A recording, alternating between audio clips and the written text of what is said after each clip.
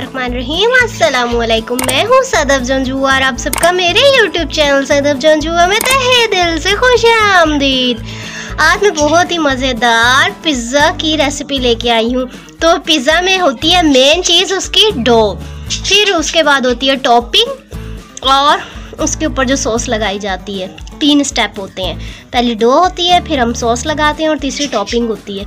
Sauce और topping इतनी अहम नहीं होती, सबसे अहम होती है डो तो मैं सबसे पहले आपको पिज़्ज़ा की डो बनाना बताती हूँ। उसके लिए हमें क्या क्या चाहिए मैं आपको डिटेल से बताती हूँ। ये हमने तीन कप मैदा ले लिया। मेजरिंग कप जो होते हैं वो वाले तीन कप। इसके अलावा इसमें क्या क्या डलेगा मैं आपको डिटेल से साथ साथ बताती रहूँगी। तो इससे हमारी दो डो बन जाएँगी। मतलब दो पिज़्ज़ा तैयार हो जाएँगे। अगर आपने एक पिज़्ज़ा बनाना है तो आप डेढ़ कप मैदा लीजिए। और चाय वाले चमचे हम डालेंगे इसमें पाउडर मिल्क इससे बहुत मज़ेदार हमारी पिज़्ज़ा की जो डो होती है उसका टेस्ट बनता है। अलग है, ये दूसरा डाल दिए, दो चाय वाले चम्मच हो गए। हमारा ये पाउडर मिल्क चाय वाला चमचा हम इसमें नमक शामिल कर देंगे। सबको हम अच्छे से मिक्स कर लेंगे। अब हम आधा कप पानी ले लेंगे। उसे नीम गरम कर लेंगे, इस डाल के। कब हमने पानी लिया था और आधे से थोड़ा हम दूध लेंगे, इसमें शामिल कर देंगे। चमचा चीनी शामिल कर देंगे। चीनी दूध पानी को अच्छे से गर्म कर देंगे, फिर इसमें ईस्ट शामिल करेंगे। हमारा ये मिक्सचर अच्छे से गर्म हो गया हम उसमें तीन चाय वाले चमचे ईस्ट शामिल करेंगे।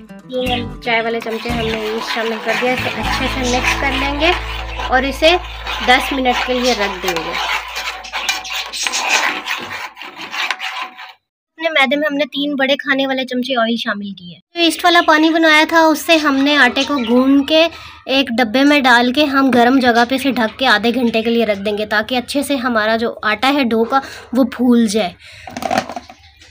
और इसमें हमने ऑयल भी शामिल किया था। पिज़्ज़े की टॉपिंग के लिए हमने एक बड़ा प्याज काट लिया, एक शिमला मिर्च काट ली और कुछ ऑलिव ब्लैक ले लिए, काले जैतून तो आप कुछ भी ले सकते हैं, सब्ज़ियाँ जो आपके पास घर में मौजूद हो, टमाटर डाल सकते हैं, अपनी मर्ज़ी से सब्ज़ियाँ डाल सकते हैं। जो हमारे पास घर में मौजूद थी, हमने ले ली। अब इसकी टॉपिंग के लिए हम चिकन तैयार कर लेंगे। बर्तन में तीन खाने वाले चमचे ऑयल गरम कर लेंगे, फिर इसमें अदरक, लहसन का पेस्ट डाल के फ्राई कर लेंगे।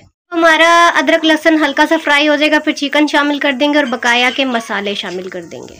अब ये सारे मसाले शामिल कर दिए, हमने अच्छे से मिक्स कर देंगे। हमने शामिल किया है आधा चाय वाला चमचा हल्दी, आधा चाय वाला चमचा लाल मिर्ची पाउडर, आधा चाय वाला चमचा कश्मीरी लाल मिर्ची पाउडर और आधा चाय वाला चमचा ज़ीरा पाउडर, धनिया पाउडर और इसके अलावा मोटी कुटी लाल मिर्च और आधा चाय वाला चमचा नमक। मिर्च मसाले आप अपने हिसाब से कम ज़्यादा कर सकते हैं।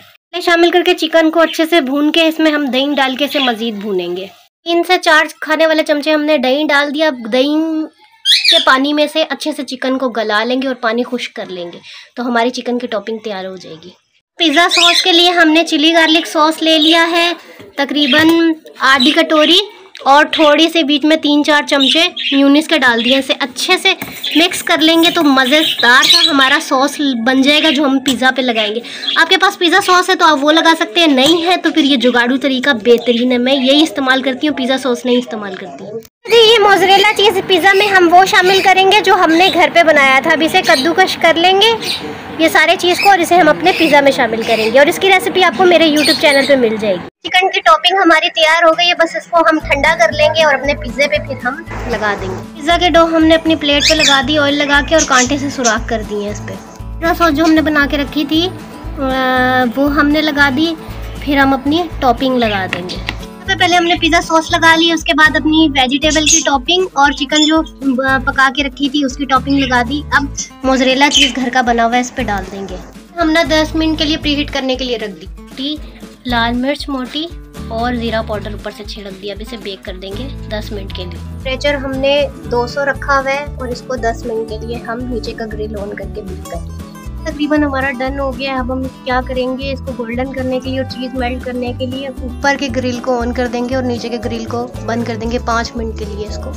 ऊपर के ग्रिल पे पकाएँगे बेक करेंगे। पिज़्ज़ा हमारा बेक हो गया हमने ओवन से निकाल दिया। कितना मज़ेदार सा पिज़्ज़ा हमारा बन के तैयार है। उम्मीद है आज की मेरी पिज़्ज़े की रेसिपी आप लोगों को ज़रूर पसंद आएगी। इसे ज़रूर ट्राई कीजिएगा और कमेंट करके बताएँ आपको कैसा लगा।